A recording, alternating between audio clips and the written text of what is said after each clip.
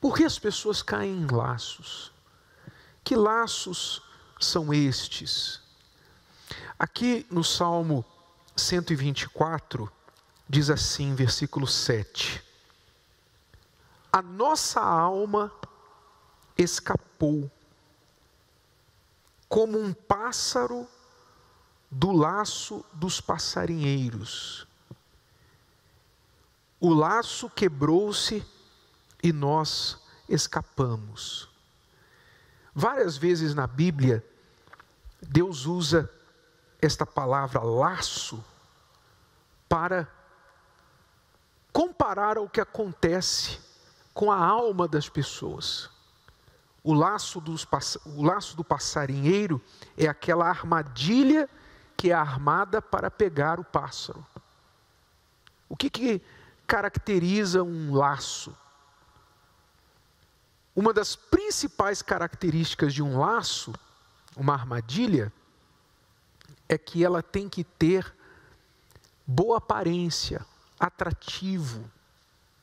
Ela tem que ter atrativo, senão não vai atrair o pássaro.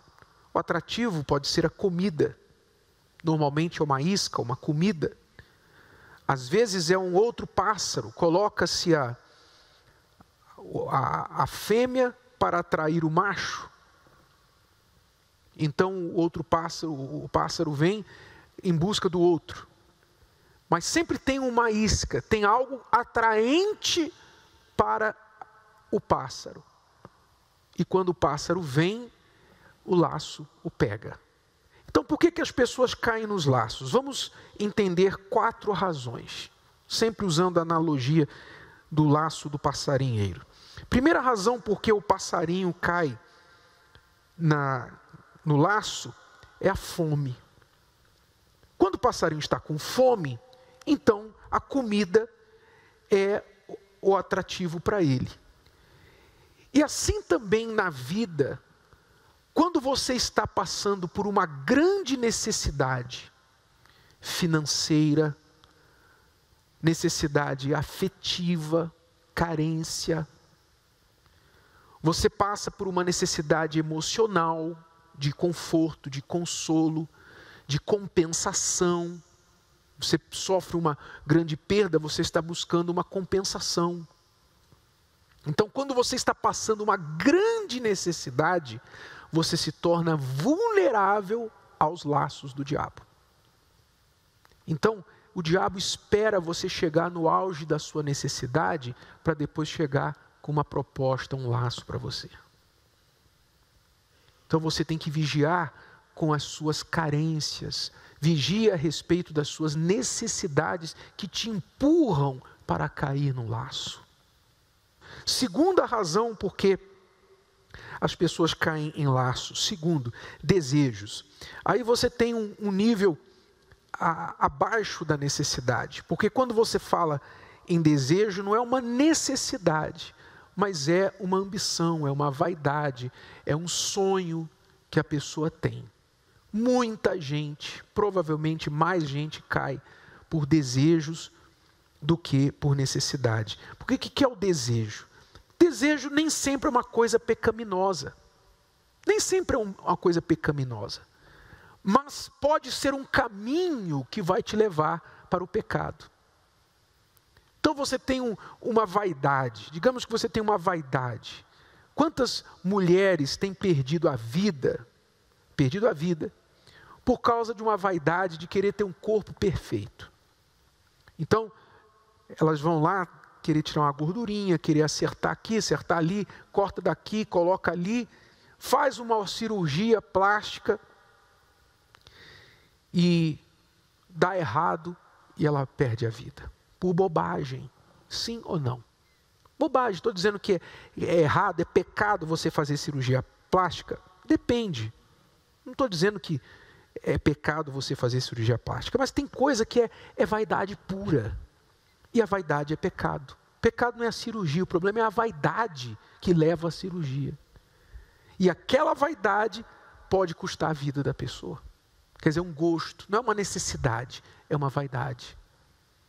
Assim são as pessoas que pelo gosto, pelo desejo que ela tem de, de ter glória para si. A pessoa, por exemplo, quer, quer ter muitos seguidores na rede social, quer ter muitos seguidores, quer ter, hoje todo mundo quer ser famoso, quer ter o seu nome, quer edificar o, o, o seu monumento, um monumento a si mesmo.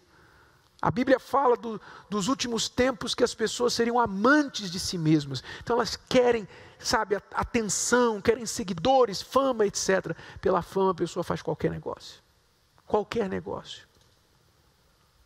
E perde a vida, perde o pudor, perde os princípios por causa de uma vaidade, de uma coisa passageira. Quantas vezes você já teve a ilusão a decepção de ver uma propaganda lá com o produto, e, no, e na foto, na imagem, era uma maravilha. Aí você levou para casa, é, é igual a foto de hambúrguer. Já percebeu? Sim ou não? Olha a foto lá no restaurante que você come o hambúrguer, tem lá o, o, o anúncio. Às vezes do lado de fora, às vezes lá no menu que você vai pedir o número, está lá aquela foto suculenta, o pão assim, é, crocante, é, não é? douradinho, queimadinho, o hambúrguer assim dessa grossura, alface verdinha, tomate vermelho assim que você nunca viu. É ou não é? Aquela coisa assim. Aí você, ah, eu quero aquele. Aí vem a bandeja. Aí quando você abre a caixa,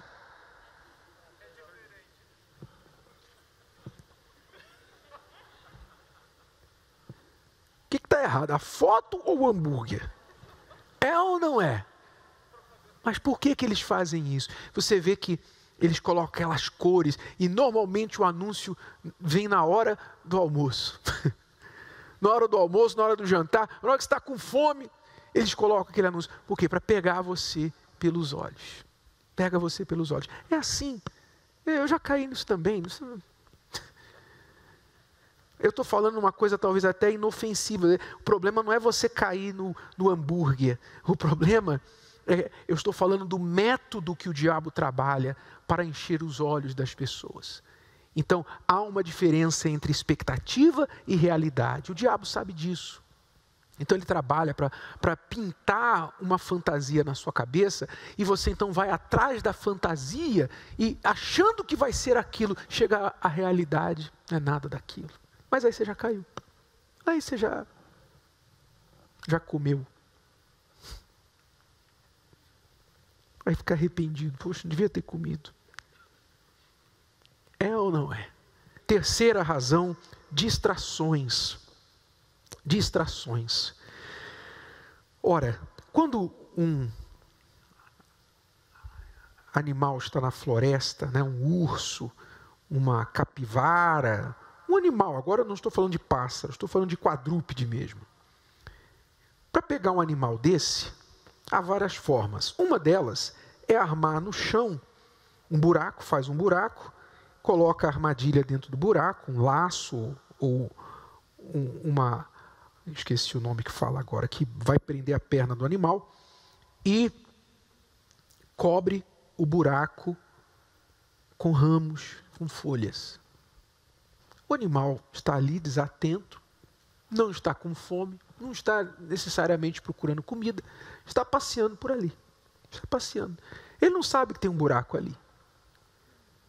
Ele não tem essa inteligência para pensar: alguém pode ter armado um buraco aqui, uma armadilha aqui.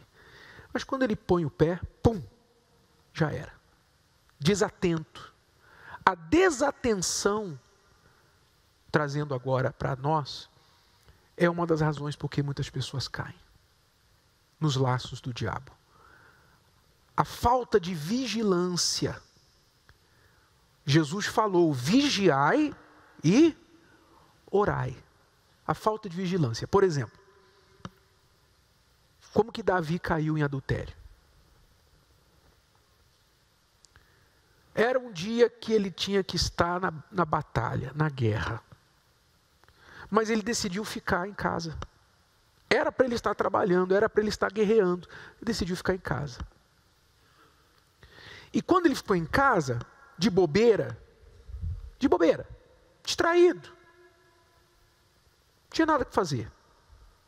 Então ele vai lá na sacada da janela dele. Aí ele olha. Está lá, Betseba se banhando. Ele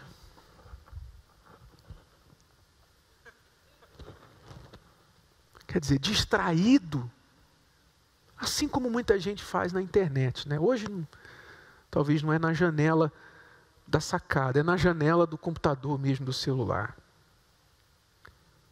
A pessoa fica olhando, distraída, fica ali horas distraída, vendo pornografia, vendo o que não devia.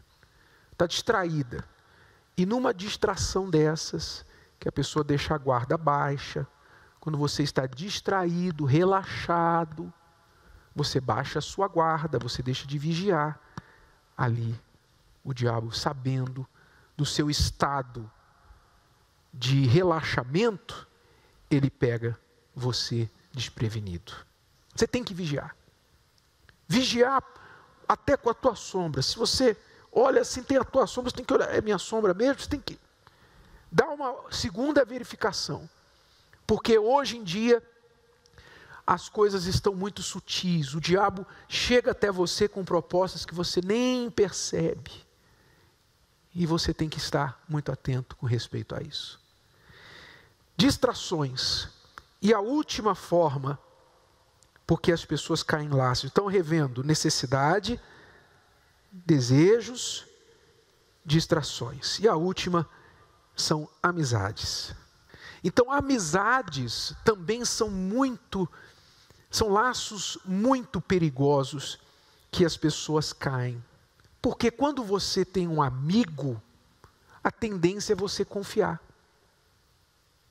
Por isso o diabo usa amizades. Ele usa pessoas para que você, que se identifica com elas, o diabo vai usar alguém que tenha a mesma, o, o, mesmo hobby, os mesmos gostos, tem alguma coisa que se identifica com você, uma amizade, uma pessoa que você se identifica muito. E vai criar um laço. Já se diz laço de amizade, não é isso? Sim ou não? A pessoa chega a dizer assim: Eu tenho um laço de amizade muito forte com essa pessoa. Nós somos amigos desde a infância. Porque ali quando rolam as conversas, as más conversações, os seus bons costumes vão sendo corrompidos. Bons costumes. Você tinha um bom costume, você tinha valores, você tinha princípios, de repente, por causa dessas más conversações, você começa já a torcer os seus valores. Compreenderam? Sim ou não? Então, vigie com respeito a isso. Necessidade, desejo, distrações, amizade. Vigiem. São quatro formas que as pessoas são capturadas e caem nos laços. Gostou? Que tal ouvir de novo? Ouça quantas vezes precisar até que este conteúdo faça parte de você. E não se esqueça de dar o seu like, comentar e compartilhar. Até a próxima!